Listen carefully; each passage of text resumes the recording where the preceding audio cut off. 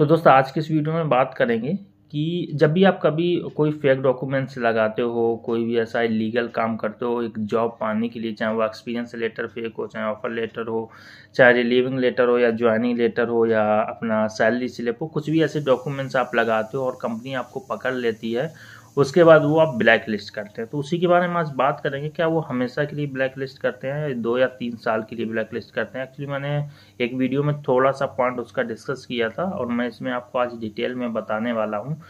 तो बेसिकली दोस्तों होता क्या कि जब भी आप कोई भी डॉक्यूमेंट्स फेक लगाते हो एक प्राइवेट सेक्टर में जॉब पाने के लिए, चाहे वो एक स्मॉल ऑर्गेनाइजेशन हो और चाहे वो मल्टीनेशनल कंपनी हो, कोई भी एमएनसी कंपनी हो, चाहे वो गूगल हो टेक महिंद्रा हो एच हो आई हो टाटा हो, कोई सी भी मल्टीनेशनल कंपनी हो तो जब भी आप कभी ऐसी चीज़ें करते हो और वहाँ पे पकड़े जाते हो तो वहाँ ब्लैक लिस्ट कंपनीज़ में होते हैं बेसिकली दो तरीके के।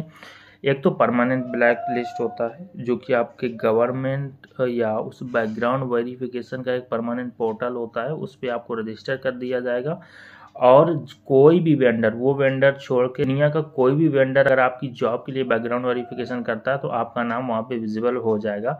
मीन्स आपको परमानेंटली ब्लॉक किया हुआ है। अब कई कंपनीज़ क्या करती हैं कि दो साल, तीन साल या पाँच साल या दस साल के लिए ब्लैक लिस्ट करती हैं। और हो सकता है वो अपनी ही कंपनी से दो, चार, पाँच साल के लिए ब्लैक लिस्ट कर रहे हैं। लेकिन करते ज़रूर हैं। अगर आपने कुछ भी लीगल किया तो ब्लैक लिस्ट आप ज़रूर होगे।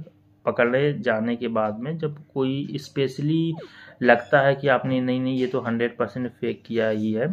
कुछ चीज़ों में आप बच के निकल जाते हो क्योंकि बहुत सारी चीज़ें हम लोगों के साथ ऐसी होती हैं, कई बार होता है कि आधार कार्ड में एड्रेस गलत पड़ा हुआ है, नाम सही पड़ा हुआ है एड्रेस दूसरी जगह का तो एक तरीके से वो भी फेक है बट इसमें ये नहीं होता है प्रूफ कर देते हो तो आप उसमें ब्लैक लिस्ट नहीं होते हो। अगर इन केस प्रूफ नहीं भी कर पाते हो तब भी उस केस में ब्लैक लिस्ट आप नहीं होते हो। तो वो अलग अलग कंडीशन होती है कि आपने क्या मतलब वहाँ पे फेक डॉक्यूमेंट्स अप्लाई किया है तो उस केस में आप आ, बच सकते हो वहाँ पे।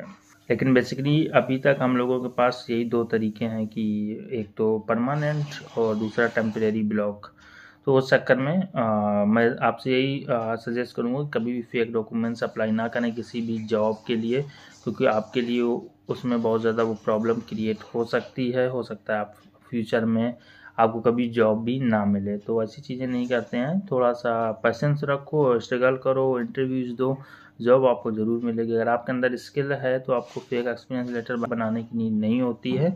स्किल्स है थोड़ा सा पैसेंस है तो जॉब आपको हंड्रेड परसेंट मिलती है, चाहे वो एक महीने और लग जाए आपको जॉब मिलने में। और बाकी अगर आपको हार्डवेयर नेटवर्किंग की क्वेश्चन आंसर की सीरीज़ मैंने नीचे दी हुई है, अगर वो आप चेकआउट करते हो तो 99 परसेंट आपका टेक्निकल इंटरव्यू निकल जाएगा। और मेरा रिज्यूमे भी वहाँ पे पड़ा है, जो कि आपको जॉब्स पोर्टल पे बहुत ज़्यादा हेल्प करने वाला शॉर्ट लिस्ट कराने में। अगर एक बार आप वो चेकआउट करके वैसे ही बना लेते हो तो आपको हंड्रेड परसेंट कॉल आने वाली है बहुत ज़्यादा। तो बस आज की वीडियो में इतना ही। वीडियो अगर अच्छा लगा तो लाइक शेयर चैनल को सब्सक्राइब ज़रूर करें।